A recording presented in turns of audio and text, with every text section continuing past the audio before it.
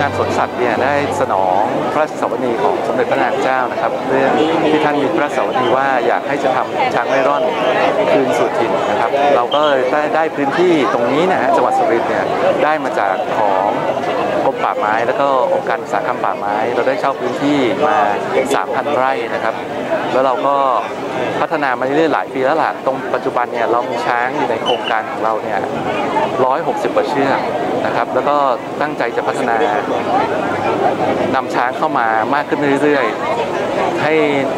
ให้เต็มความสามารถเต็มพื้นที่ของเรานะครับ เรามีเป้าหมายว่าภายในปีหน้าเนี่ยจะเพิ่มช้างให้ขึ้นเป็น 200 เชือกนะครับ เพราะว่าอย่างที่เคยได้ฟังเนี่ยพระราชสวนีของสมเด็จพระนางเจ้าก็เคยพูดว่าเนี่ยเมื่อพระบาทสมเด็จพระเจ้าอยู่หัวเนี่ย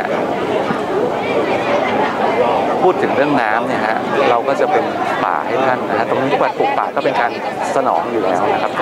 ตรงนี้นะครับแล้วก็มันก็เกี่ยวโยงกันกับโครงการที่นำช้างขึ้นถิ่นของสมเด็จพระนางเจ้าเหมือนกันตรงนี้มันเกี่ยวโยงกันอยู่แล้วนะครับ แล้วก็อยากจะกลับเรียนอย่างนี้ว่าพื้นที่ตรงนี้เนี่ยเมื่อก่อนเนี่ย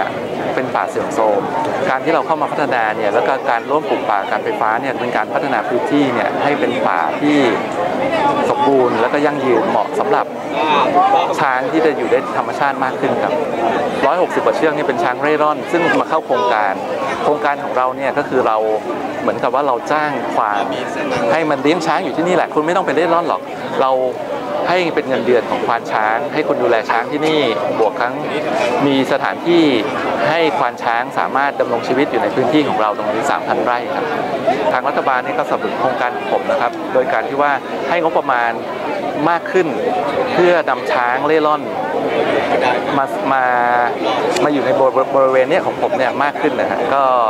ให้งบประมาณผมเพิ่มขึ้น 30 เชือก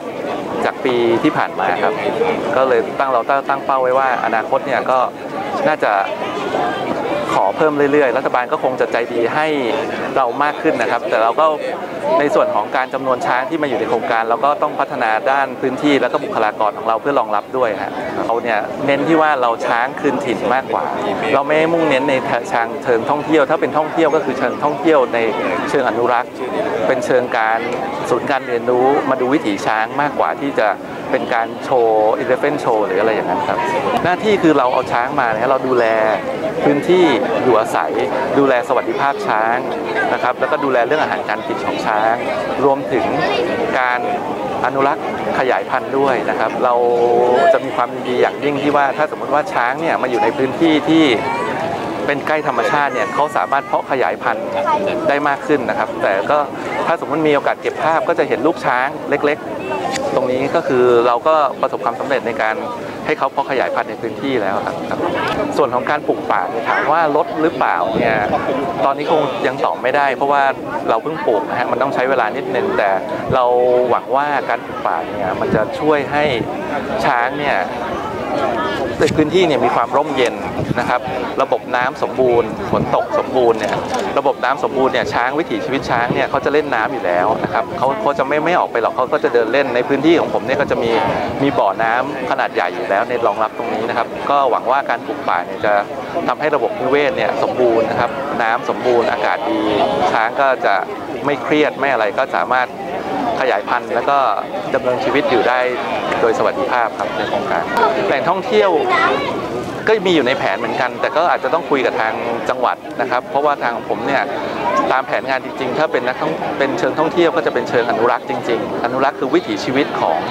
ชาวกุยคือชาวสุรินทร์ที่นี่นะครับ ไม่ได้ไม่ได้เป็นเชิงที่จะ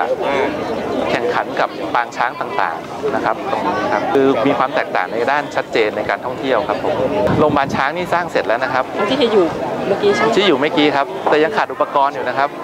อุปกรณ์นี้อยากได้เพิ่มขึ้นเรื่อยๆยังขาดงบประมาณอยู่ แต่แต่สำหรับพื้นที่ที่ให้ช้างไปพักตัวเนี่ยเสร็จแล้วอย่างที่เมื่อกี้ไปดูอะฮะอุปกรณ์พิเศษต่างๆเนี่ยอาจจะต้องรองบประมาณก็ก็ตั้งใจจะจัดหามาอยู่ตรงเนี้ยฮะคือทำให้พื้นที่ตรงเนี้ยสมบูรณ์ที่สุดในการดูแลช้างครับโครงการอย่างนี้เนี่ยผมอยากจะให้หน่วยงานต่างๆนะครับที่มีกำลังเนี่ยตรงนี้เนี่ยฮะก็เลยอยากจะดูว่าช้างเนี่ยในเมื่อเรามองว่าช้างเนี่ยเป็นสัญลักษณ์ของชาติแล้วนะครับ จริงๆเนี่ยจริงๆช้างเนี่ยต้องการความช่วยเหลืออีกเยอะ ช้างที่อยู่ในโครงการของผมเนี่ยถึงจะเราจะดูแลอย่างดีนะครับ แต่ก็ยังต้องขาดแคลนทุนทรัพย์งบประมาณอย่างนี้อยู่นะครับ จริงๆ ถ้าหน่วยงานตรงไหนเนี่ยอยากจะ support ตรงนี้เนี่ยก็ยินดีนะครับมาร่วมทำกันตรงนี้ดีกว่าครับก็เลยอยากจะฝากไว้ตรงนี้ด้วยครับ